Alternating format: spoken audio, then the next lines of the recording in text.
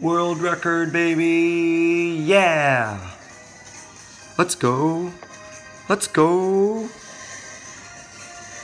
Alright guys, this was Hooplafish coming at you live with a new world record. And uh, yeah. To all those who have watched all that uh, keep away, thank you for watching. And um, that's really all I have to say. Thank you very much and have a good day.